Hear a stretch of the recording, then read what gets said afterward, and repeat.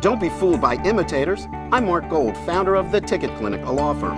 I've seen ticket lawyers come and go. Don't trust your driver's license to some kid fresh out of law school. Only The Ticket Clinic, a law firm, has been here for over 22 years. With 16 offices in Florida, we've resolved over 1 million tickets.